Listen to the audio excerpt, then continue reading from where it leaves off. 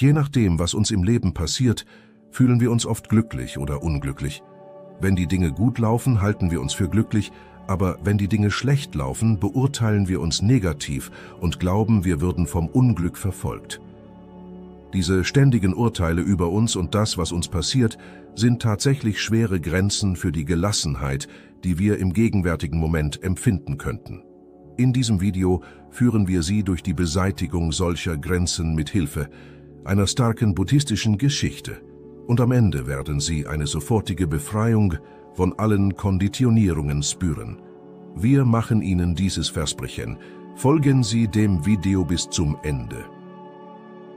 Zu Zeiten von Lao Tzu in China lebte ein alter Mann in einem ruhigen Dorf. Seine Armut war offensichtlich, aber selbst die Herrscher beneideten ihn wegen seines prächtigen weißen Pferdes, ein Exemplar, das es nur einmal gab. Der König selbst trat an den alten Mann heran und bot ihm reiche Belohnungen im Austausch für sein kostbares Pferd an. Der alte Mann antwortete jedoch fest, dieses Pferd ist für mich nicht nur ein Pferd, sondern ein integraler Bestandteil meiner Familie. Wie könnte ich es jemals verkaufen?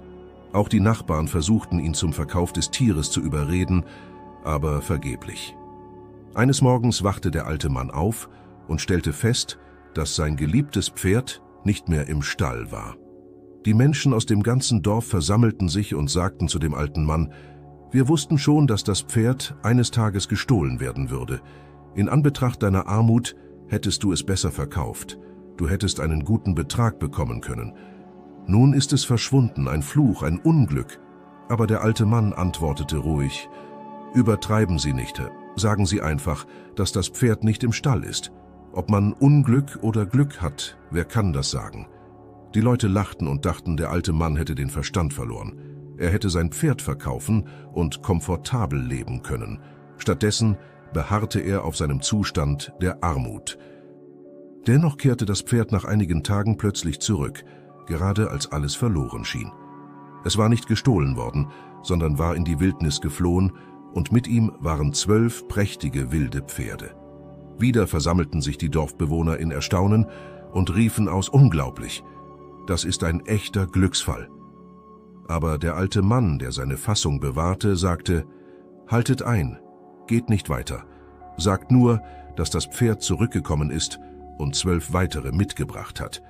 Aber beurteilt nicht, ob es Unglück oder Glück ist, wer kann das sagen? Die Leute schwiegen, obwohl ihnen klar war, dass diese zwölf prächtigen Pferde große Summen einbringen würden, wenn sie verkauft würden. Später begann der Sohn des alten Mannes, sein einziger Erbe, diese wilden Pferde zu trainieren. Aber eines Tages fiel er während einer Trainingseinheit von einem der Pferde und brach sich beide Beine. Wieder versammelte sich das Dorf und begann vorschnelle Urteile zu fällen. Dein einziger Sohn hat die Verwendung seiner Beine verloren, er war deine Stütze im Alter. Was für ein großes Unglück. Der alte Mann, ohne seine Fassung zu verlieren, erwiderte, Haltet ein, geht nicht weiter. Sagt nur, dass mein Sohn sich die Beine gebrochen hat. Ob es Unglück oder Glück ist, wer kann das sagen? Einige Zeit später wurde das Land in einen Krieg mit einer Nachbarnation verwickelt. Alle jungen Männer des Dorfes wurden zwangsweise zum Militärdienst eingezogen, mit Ausnahme des Sohnes des alten Mannes, der aufgrund seiner gebrochenen Beine verschont blieb. Das Dorf versammelte sich wieder. Sie waren alle traurig über das Schicksal ihrer Söhne, die mit Gewalt weggebracht und ohne jede Hoffnung auf Rückkehr, da die feindliche Nation mächtig war. Es schien unmöglich, dass die jungen Männer nach Hause zurückkehren würden. Das ganze Dorf wandte sich an den alten Mann und erklärte, das war ein Segen, dein Sohn mag hinken, aber er ist noch bei dir, während unsere Söhne für immer weg sind. Der alte Mann in all seiner Weisheit sagte, fahrt fort zu urteilen. Eure Söhne wurden gezwungen zu kämpfen, während mein Sohn bleiben musste. Niemand weiß, ob es Unglück oder Glück ist, wer kann das sagen? Wenn wir über unser Leben nachdenken, versuchen wir oft die Ereignisse zu kontrollieren, indem wir festlegen, was gut oder schlecht gewesen wäre. Wenn sich die Dinge so entwickeln, wie wir es wünschen, freuen wir uns. Aber wenn die Dinge nicht so laufen, wie wir es erhofft hatten, fühlen wir uns enttäuscht. Zu oft sind wir voreilig beim Beurteilen eines Ereignisses und beim Bestimmen, ob es positiv oder negativ war, aber tatsächlich können wir nicht mit Sicherheit wissen, ob etwas, das geschieht, wirklich gut oder schlecht ist. Wir können nicht vollständig vorhersagen, ob ein Ereignis sich langfristig als positiv oder negativ erweisen wird. Wie in dieser buddhistischen Geschichte geschieht, etwas, das zunächst wie eine gute Nachricht erscheint, könnte in Zukunft Unannehmlichkeiten und Probleme verursachen. Ebenso könnte etwas, das anfangs negativ erscheint, sich im Laufe der Zeit als äußerst positiv erweisen. Der alte Bauer in dieser Geschichte urteilt nicht, sondern akzeptiert einfach, was in der Gegenwart geschieht und in einem Zustand der Gleichmut, der die höchste Form der Ruhe darstellt, die wir erreichen können.